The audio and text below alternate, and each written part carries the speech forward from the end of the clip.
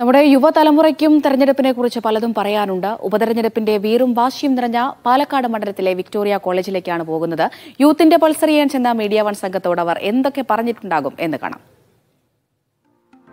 പാലക്കാടിന്റെ പ്രൗഢഗംഭീരമായ വിക്ടോറിയ കോളേജിലാണ് ഞാനിപ്പോൾ ഉള്ളത്. ഉപതെരഞ്ഞെടുപ്പിൽ തിളച്ചുമറിയുന്ന പാലക്കാടിനെ കുറിച്ച് ഈ വിക്ടോറിയയ്ക്ക് എന്താണ് പറയാനുള്ളതെന്ന് നമുക്ക് കേൾക്കാം. ഉപതെരഞ്ഞെടുപ്പിനെ കുറിച്ചുള്ള നിങ്ങളുടെ ഒരു വ്യൂ എങ്ങനെയാണ്? യാതൊരു വിധത്തിലുള്ള ആശങ്കയും ഇല്ല എന്ന് തന്നെ പറയാം. ഒരു ഈസി വോക്കായിട്ട് രാഹുൽ മാങ്കൂട്ടം തന്നെ വിജയിക്കും. അപ്പൊ ആര് ജയിക്കുമെന്നാണ് പ്രതീക്ഷിക്കുന്നത്? പ്രഡിക്ഷൻ അല്ല പക്ഷെ ആർക്കും ഈസി വിന്നല്ല എന്നാണ് തോന്നുന്നത്.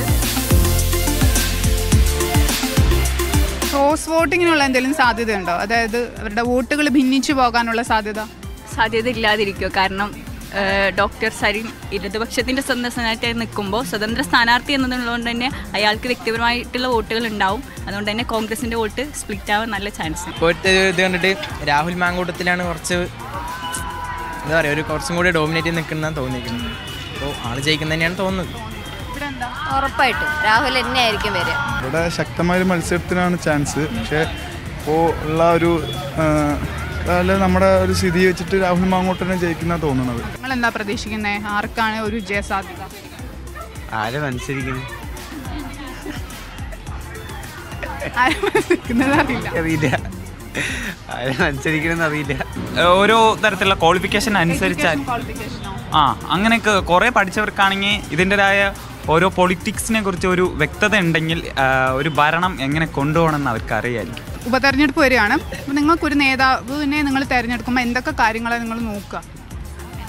മെയിനായിട്ട് എന്തായാലും വ്യാജനം തിരഞ്ഞെടുക്കാൻ പോണില്ല. വ്യാജനം എന്തായാലും തിരഞ്ഞെടുക്കാൻ പോണില്ല. അല്ല ഒബ്വിയസ്ലി എല്ലാവർക്കും മനസ്സിലായിട്ടുണ്ടാവും അത് ആരെ കുറിച്ച് ഉദ്ദേശിച്ചില്ല ആരെ പറ്റിയാണ് വിവാദമായിട്ടില്ലെന്ന് എല്ലാവർക്കും മനസ്സിലാവും.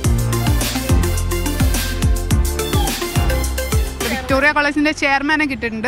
ഒരു സ്ഥാനാർത്ഥിയുടെ നോമിനിയായി മറ്റൊരു സ്ഥാനാർത്ഥി വരിക പോലുള്ള പുതിയ ഒരു കൾച്ചറാണ് ഇവിടെ കാണാൻ കഴിയുന്നത്. അപ്പോൾ അതൊക്കെ വലിയൊരു രീതിയിൽ പാലക്കാട് ജനങ്ങൾക്കിടയിൽ ചർച്ച ചെയ്യാൻ സാധ്യതയുണ്ട്.